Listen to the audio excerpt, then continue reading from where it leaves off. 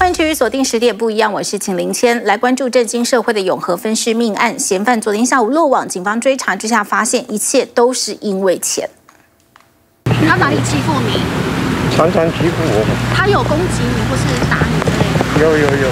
被上铐一送，他是永和分尸案的七十三岁主嫌，就算狠心分尸弟弟，直到移送这一刻没感觉，有后悔。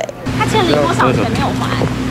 呃，大概五不好意思。走路缓慢，瘦弱身躯，完全看不出他会犯下分尸案。回到案发前，五十四岁的梁姓死者，八月三十号晚上骑车回家，结果就没再踏出家门，也成了他最后身影。只是亲兄弟如此狠心，一切为了钱。但明明祖错在妈妈过世之后就登记在嫌犯名下，拥有房产还要犯案。因为家中排行老大的他，长期不满没工作的小弟，三番两次就借钱，十几年下来累积将近五万块，但自己的存款剩约三十万，已经不多，还被欠债埋下杀机。九月一号凌晨杀害弟弟分尸，分两天丢弃部分尸块，但不满刀子老旧，三天后再到万华买了四把。新刀，两把菜刀，两把料理刀，但这回还没使用就先被抓。那你把头跟手呢？这个分尸、丢弃，主要是毁尸灭迹。那最主要就是呢，让呃警方呢没有办法啊这个查缉到他的身份。为了几万块，杀红了眼，甚至恨到把亲弟弟给分尸。嫌犯这回被逮，恐怕余生都会在牢里度过。特别新闻综合报道。持续追踪这个嫌犯呢，是趁着倒垃圾的时候分次丢弃尸块。到案件曝光已经整整过了四天，不排除尸块已经在巴黎焚化厂被焚烧。不止搜索有难度，警方现在也还缺少重要拼图。穿黑色长裤、夹脚拖，他就是永和分尸案嫌犯梁姓男子。趁倒垃圾时丢弃弟弟的尸块，尽管人落网后也认罪，但现在还缺少一块拼图。就是这个动作少了嫌犯把袋子丢进垃圾车的关键画面。跟来而已啊，没有一年啊，年轻人不知道，我知道，我会问你，我十五年时间讲他妈贵款啊，哪来不能摸啊。只是从丢弃到曝光也过了四天，案发地点一周固定五天早晚有垃圾车分别清运五十个点，再送到巴黎垃圾焚化厂。警方现在不止得跟环保局确认尸块是否已经被焚烧，因为这攸关刑责。即便没有这个画面，但是如果我们从这个呃被被告自己呃自己的自白，或是有其他的证据可以去得知说他的确有这个毁损或是遗弃尸体的一个状况，那依然有是有可能成立这个犯罪。他的年纪是七十三岁，法官在良心因子考量上面有没有可能酌减其刑，可能还是要看。这个个案的状况。回顾近期几起杀害亲属案件，去年永和杀父分尸案，法官考量嫌犯是为了保护母亲，最后判刑十九年。二零一八年桃园杀母案一度判无罪，最后法官认定他因为吸毒犯案时没辨识能力，改判无期。这回却是因为金钱纠纷引起杀机。落网时他还很宝贝装有十六万跑路金的行李箱，但接下来进到牢里，这笔钱也得由监所保管，余生恐怕再也拿不回来。TVB 的新闻陈怡人吴玉雅新媒报道。警方是花二十三个小时侦破了这起分尸命案，关键就是嫌犯的红色行李箱，因为他不管去哪都拖着走，直到六号上午自己发觉这亮红色的行李箱可能太醒目，因此暂时寄放超商。而警方判断凶嫌应该会回来拿，所以赶快拜托店员，如果看到对方，务必迅速通知。涉嫌动手杀害弟弟，黑衣男拖着行李箱走了一天一夜，每停留一个点都不敢待太久，就怕远警随时追上来。这时他一次发现红色行李箱太醒目，赶紧寄放超商。嫌犯发现自己的红色行李箱太过明显，很容易会被盯上，因此一大早就来寄放到超商。而远警也立刻请这个超商店员帮忙一下，如果嫌犯再回来，赶快通知警察。没了行李，少了累赘，但嫌犯的心恐怕还是很忐忑，因为行李箱内除了棉被、书包，还有十六万五千元现金。警方知道他一定会回来，调阅监视影像分析。五号傍晚从永和住家附近离开之后，六号上午搭公车双北跑透透，足迹遍及台电大楼、三重、台北车站，直到下午四点多，心想时间差不多了，回头取行李箱，结果才走到巷口就被埋伏警力压制逮捕。红色的有有有有钞票有，我们刚刚算好。已经放出去了。双手上铐被拘提上车。巧合的是，同一时间兄弟姐妹正在家里为弟弟招魂。二十三小时内破案，但是这名嫌犯的逃逸路线有一点混乱，也让调阅监视器的远景分析将近五百只画面，看到眼睛快要脱窗。他有一点像那个无厘头的逃亡法，他其实到处会一个走走停停，他会设个断点啊，他每个断点我们就是要花时间、花心力，还有花我们的现场大概平均大概就是四、十六个人的头脑去想去突破它这样子。利用敬老悠游卡到处逃亡，以为不会被追踪，没想到经过的每一步都被锁定。加上这红色行李箱随时带在身上，成了全案线索，最后落在警察手里。TV 王清伟姐新闻报道。再来关注的是台南杀警案侦查终结，被告林信吴犯下强盗杀人等七罪，被求处死刑。盗罪、强盗杀人罪、杀人罪、加重强盗罪、妨害公务罪。枪炮弹药盗窃管制条例未经许可持有枪弹罪起诉。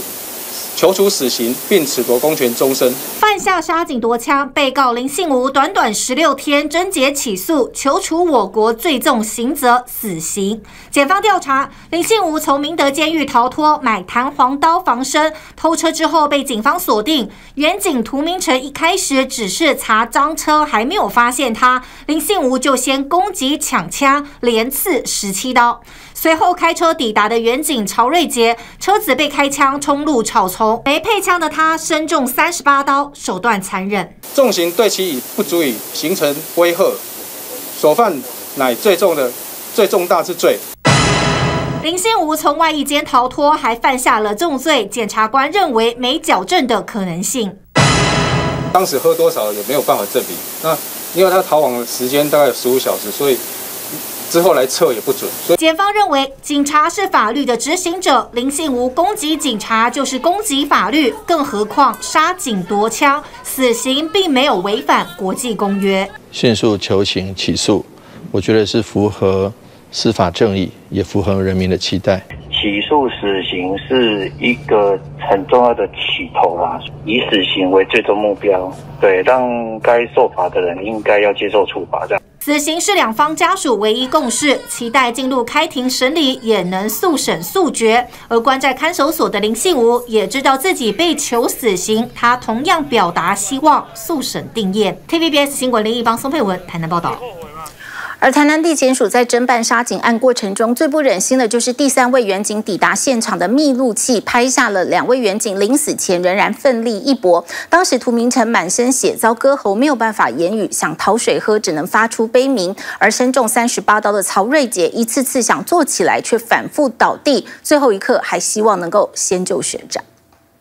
救护车到场，两位远警躺在地上，痛得完全无法动弹。第三位抵达的诚信远警努力做的 CPR，一次次压着胸口，拼了命想救回两人。上救护车时持续压胸，但两人伤势太重，又是正中午时间，大太阳曝晒，送医后仍然回天乏术。杀警案发生之后，第一个抵达现场的远警，他的身上密录器看到涂明成还有曹瑞杰身中多刀，等待救援。起诉书提到，诚信远景的密录器清楚直击两位远景临死前的呼喊。满身是血的涂明成勉强从警车后座下车，手上拿着矿泉水，却体力不支倒地。涂明成还一度口渴，想讨水喝，但遭到割喉，失血过多，只能发出悲鸣声，说不出话来。流血过多的情况下，然后因为又大热天，所以可能会口渴，所以他可能在在那那段期间有有要跟那个第三位。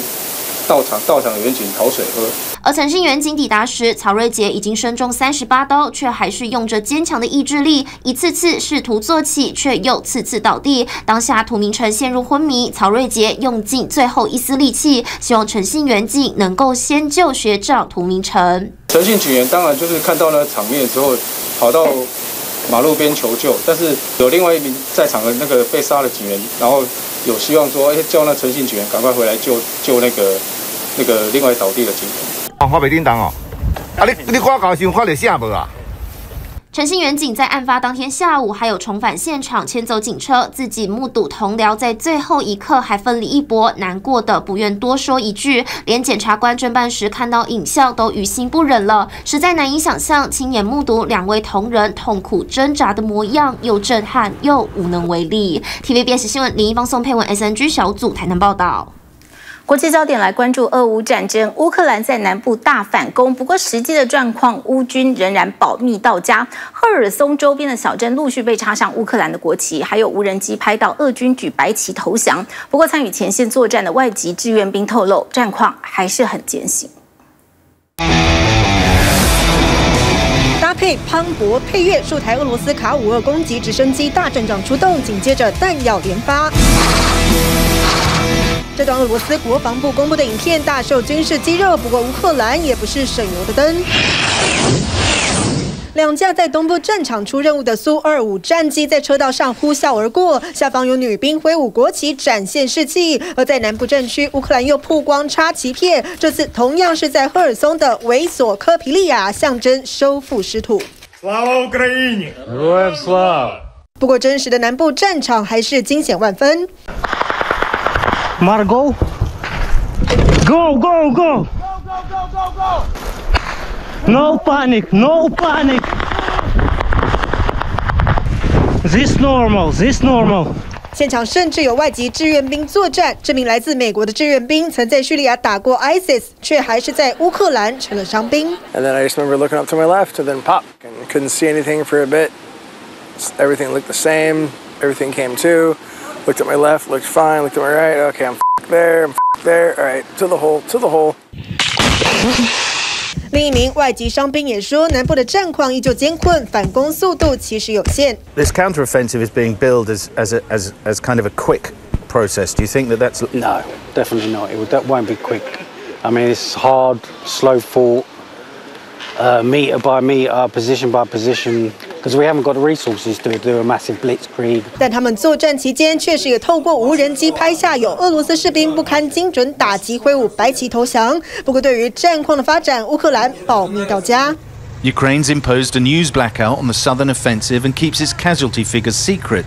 似乎就怕泄露更多的军情。只是在东部的哈尔科夫还是不平静，持续有民宅被轰。这栋公寓上方被炸破大洞，妇女惊险抱出饲养的天竺鼠，描述事发经过。 Но это ощутимо было физически, потому что э, сыну в спину полетела плитка, ударила, мне по голове обрушение с потолка произошло, ударило. Вот была, была когда-то наша квартира. 连停在公寓旁的车辆都遭殃，布满瓦砾烟尘，还有淋浴间呈现镂空状，显见当时轰炸威力。 Далі триває розбіл завалів, оскільки це все ж таки житловий будинок, то ми не виключаємо те, що під завалами ще знаходяться люди. 另一栋民宅前方也被炸出巨大弹坑，已看不出建筑的外观。而在斯拉夫扬斯克， 高龄九十二岁的老妇在镜头前啜泣，不敢相信活了这么久还无法安然度过晚年。 Воно скинуло мене, я кинула на пол, обсипала з вікна і кинула на пол мене. І я там не знаю, скільки лежала, я потеряла сознання. Одна в хаті, ніде нікого нема, ніхто мені нічого не поможе. 克拉马托尔斯克开始发放第三波物资，没想到现场人满为患，需求比想象还多，民众担心冬天会很难熬。 О, я не знаю даже, чего от этой зимы ждать. Ничего нету, газа нету. Не дай бог, еще свет выключат, все. 有些则开始收集木材，乌克兰林业所因此忙翻天，处理大批民众的申购单。为了帮乌克兰找财路，泽伦斯基现身 纽约证交所发表视讯演说。I invite you to Ukraine, invest in Ukraine. This will be your victory and a new success story for your companies. 在演说中，泽伦斯基介绍将推出价值约十二兆台币的计划平台，希望国际大举投资，以实际行动帮乌克兰重建经济。九月新闻综合报道。而据《纽约时报》的报道，美国情报部门表示说，俄罗斯正在从北韩购买火箭炮及弹药，还有从伊朗购买无人机，要投入乌克兰战争。强新闻教育记者李作恒。好，俄乌战争开打到现在，已经是演变成一场持久的消耗战了，比的是谁的耐力强，谁的后援更多。那么当然，现在呢，就俄罗斯的军队就说，是不是损失太惨了？因为传出说他们竟然向北韩来买炮弹，这是根据美国情报说，俄罗斯购买了北韩包含火箭炮以及弹药，另外他们也向伊朗买了无人机，而且这个无人机是已经投入到战。场当中了。那根据《泰晤士报》呢，他们也提出说，俄罗斯的采购行为显示什么呢？制裁已经是发挥到作用了。所以呢，入侵乌克兰这件事情对俄罗斯来说，看起来这个能力是有降低的。那当然呢，到底北韩买的这些武器，它能够发挥多大的作用呢？目前都还是未知数。但是《纽约时报》就提醒说，也不能够小觑哦，因为呢，北韩它其实是拥有巨大的。弹药储备，而且我们也知道说，其实相关的这个军事透明度是比较低的。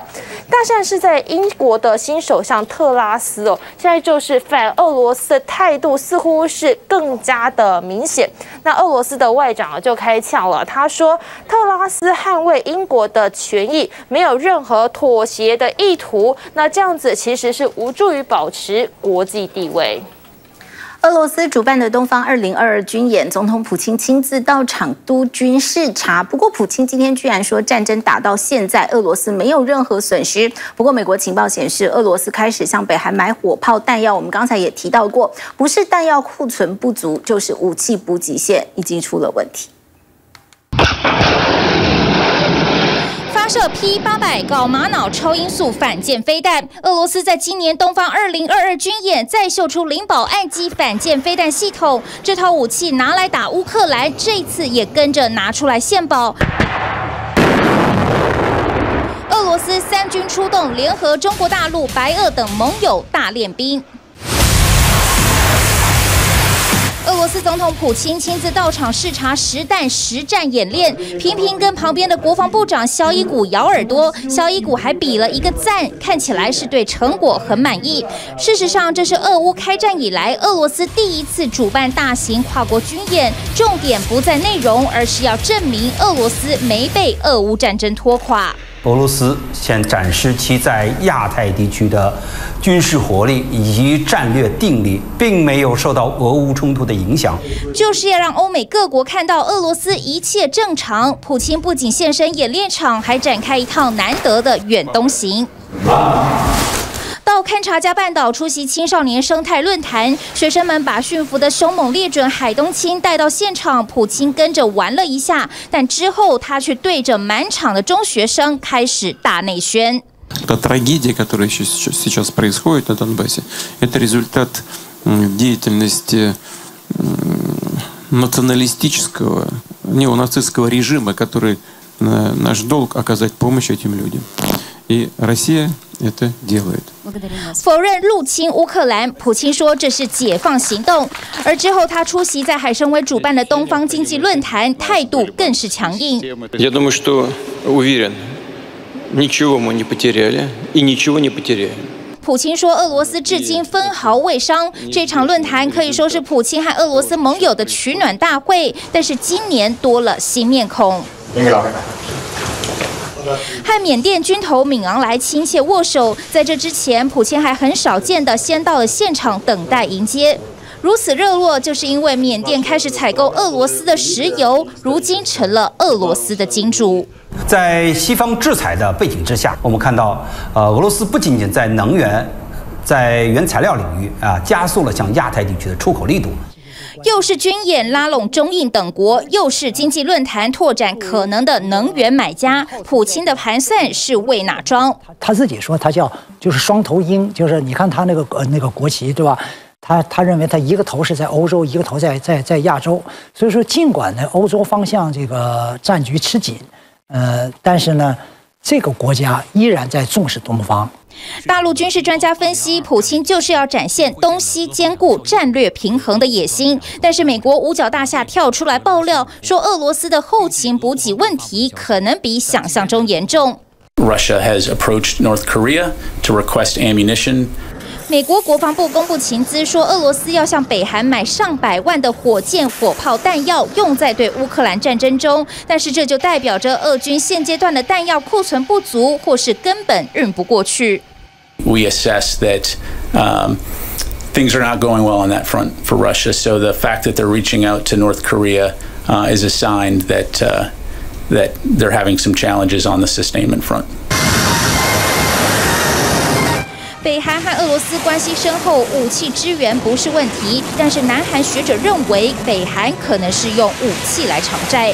북한이 러시아에게 어, 뭐 차관 형식으로 해가지고 해서 어, 들여온 그런 실물 장비들 같은 것들이 꽤 있습니다. 이것에 대한 어, 비용을 갚지 못하고 있는 부분들이 북한이 있을 것이고요. 而俄罗斯向北韩取得了大量弹药，这恐怕也代表着在乌克兰的这场仗，他们还是要继续打下去。TVBS 新闻综合报道。临近中共二十大，北京突然增加十四例的新冠本土病例，而且还有两例是来自台湾的境外移入病例。再交给做恒，带我们来了解。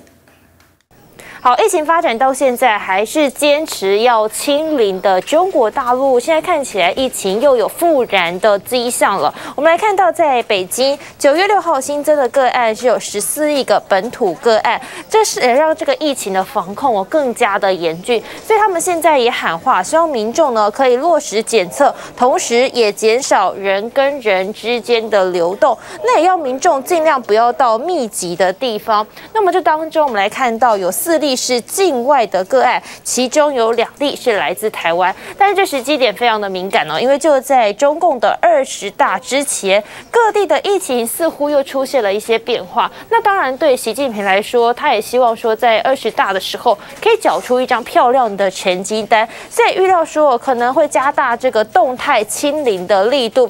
其实根据 CNN 哦他们的统计，就说八月下旬以来，至少在中国大陆有七十四座的城。城市超过三点一三亿的人，他们呢是处在全城或是部分的风控当中，也就是说他们在很多的活动上是受到一些管制的。那各地政府呢，当然希望说在习近平这一届任期倒数的时候，不惜代价都要把这个疫情给控制住，还是可以往清零的目标来走。那专家也说，未来几周预料更多的城市可能还会在风控当中。而再来看大陆今夏高温小雨，第一大淡水湖鄱阳湖呢，水位是快速的下降，目前已经跌破了八公尺，进到了急枯水期，刷新了最早的记录。大陆官方预估说，今年秋季华中南部呢、华东大部分地区降水还会比常年少二到五成，再加上秋台又偏少，可能会出现夏秋连旱的情况。长江流域干旱还没结束，位于江西省最大的淡水湖鄱阳湖持续干涸。新子水位监测站水位退到七点九九公尺，创下有记录以来由枯水位退到极枯水位最快的一年。六月下旬以来，我们全省这个平均降雨啊，较往年同期是偏少了六成左右，然后蒸发量又是同期降雨量的两倍。七月以来啊，这个长江中上游来水较同期啊偏少了四成左右。受到汛前反枯影响，常年泡在鄱阳湖中的水中古城洛星墩水落石出，周边还变身茫茫草原，吸引不少游客前往观赏。另外，还有大陆网友发照片表示，在鄱阳湖湖滩发现大陆国宝级动物长江江豚搁浅死亡。虽然死因和干旱有没有关系还有待厘清，但路媒报道，今年提前缺水的鄱阳湖的确发生好几头江豚死亡的情况。首次在南方这个汛期。开展了大范围的人工增雨作业。此外啊，各地也积极开展了这个地面的人工增雨作业。初步估算，那么人工增雨作业的一个影响面积呢，达到一百四十五万平方公里左右。即便已经入秋，南方多地还是高温缺水。官方执行飞机人工增雨，已经累积七十五架次，共两百一十一小时。大陆国家气候中心表示，今年秋天华中南部和华东大部分地区降水，预计还是会比往年少二到五成。再加上秋台减少，很可能出现夏秋连旱的情况。虽然长江流域大部分地区还没有从缺水缺电的困境解脱，但其中最重要的经济中心重庆宣布，著名景点洪崖洞已经可以恢复外墙造景灯，夜游长江和嘉陵江的航线也能恢复行驶。TVBS 新闻张志明、林敏珍综合报道。今年全球极端气候特别的频繁，巴基斯坦洪灾还不见缓解，政府居然帮倒忙，故意让湖泊决堤，结果下游淹得更惨。而非洲的索马利亚深陷四十年来最严重的干旱，已经处在饥荒边缘，全球暖化也加速冰川消融。全球暖化加剧，位在南极大陆西侧的史威茨冰川，又称末日冰川，也岌岌可危。It is called the Doomsday Glacier, and a new study says it is holding on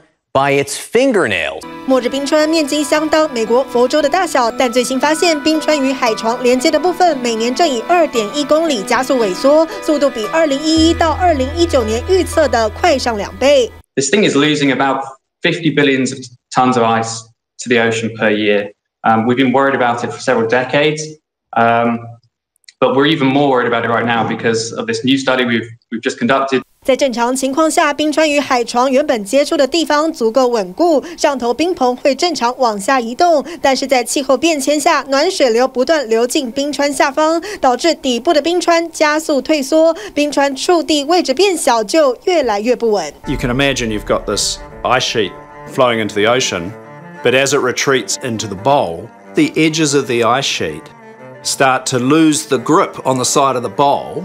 It's it's clinging on to the edges, but it's about to slip off. There's nothing for them to hold on to anymore. 到最后，冰川就如同骨牌一般持续的崩塌溶解，甚至影响到附近的冰川。 If you actually lose most of Thwaites, you draw down lots of its neighbouring sister glaciers as well, and you're looking at anywhere from between three and 10 feet sea level rise globally. 在巴基斯坦持续受到极端气候影响，世纪洪灾不见缓解，而南部的信德省政府还帮倒忙，破坏湖泊提岸引流，却导致下游淹水情况惨上加惨。These fields were flooded when the Pakistani government made the controversial decision to intentionally breach a lake upstream from here. 巴基斯坦今年的雨季，部分地区雨量比往常多出十倍，导致许多民众全挤在这一个仅存的狭窄土地扎营。上头除了有饲养的牛只，还有妈妈抱着出生二十四天的女婴设法求生。I want my baby to survive, but it's God's will if she dies. 世卫估计，这场洪灾恐怕导致一百二十万名孕妇无法得到妥善的照顾。而这里虽然刚刚得到空投物资，却不够灾民分，漫漫长夜更加难熬。We keep our eyes on our children after sunset. They could fall down into the water and drown. We have one meal a day. We have to save food for our kids. God, please help us. 而生活环境恶劣，恐怕将带来新一波霍乱和痢疾的传播。而在南半球的非洲，却又是另一种极端。 饱受干旱蹂躏的索马利亚，许多小孩没东西吃，哇哇大哭，整个国家处在饥荒边缘。Famine is at the door, and today we are receiving a final warning. 这名妈妈手拿铁盘挖着黄土，她其实刚刚埋下因干旱而死的儿子。她在镜头前忍不住落泪。